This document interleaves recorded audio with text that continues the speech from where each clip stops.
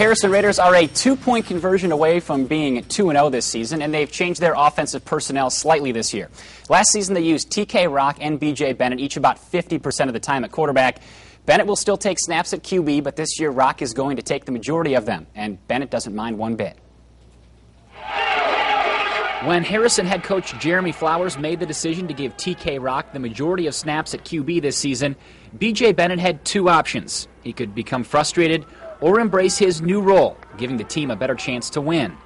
He chose the latter. I don't care if I'm getting the ball under center, if I'm taking handoffs, or if I'm catching the ball. I mean, as long as I have the ball in my hands, I know that coach can rely on me to try to make big plays and try to help the rest of the offense get going. The senior spent the offseason working on his timing with Rock, and he's gained chemistry with him while gaining respect from his teammates for his positive attitude. And especially having a kid that's played the quarterback position before, he knows when he's out on the field, he knows what I'm looking for.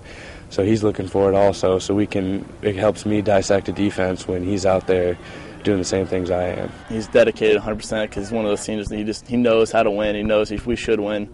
And you know, it shows dedication that even though you know he got a spot taken by TK, that he's willing to do whatever he can to get on the field. And he's just one of the athletes we need on the field. Even though he isn't playing quarterback 50% of the time this season, Coach Flowers still wants to get the ball in his hands as much as possible, whether it's at wide receiver, running back, or even punt returner.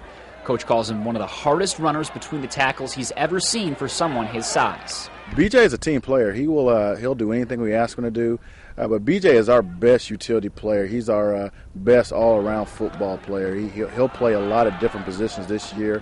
Every week I come in just kind of waiting to see, hey, what what does he give us on the game plan on Monday? Like, what does he want me to do? And so I embrace that fully. I watch film all week with TK and just try to figure out, hey, well, this is what I'm doing this week. This is what I might do next week, and it really hasn't bothered me and Bennett's unselfishness should give this senior laden team a good chance to make a long run in postseason play.